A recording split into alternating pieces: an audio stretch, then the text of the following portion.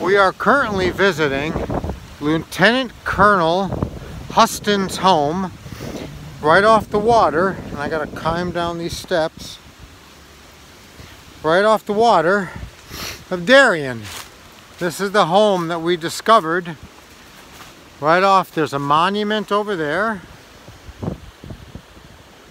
And yeah, it's 45 degrees and we're just chilling.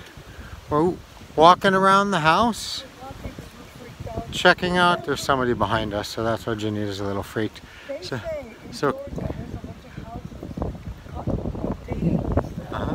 were abandoned and quiet. And I get the feeling this is one of them. This is the most beautiful place. The door is open. We're not going in because it's scary. Yeah. But if you saw the woodwork, on the inside. Right.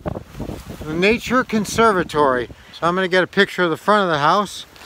Oh my God.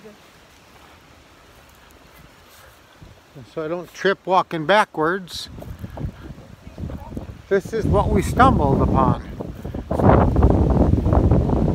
And it's a Nature Conservancy River, River fire reserve. So Gina's going to check that door. There was a door in the back that was open, but I said, yeah, no, we don't want to, we don't want to go in there. There may be squatters. So it's absolutely fascinating.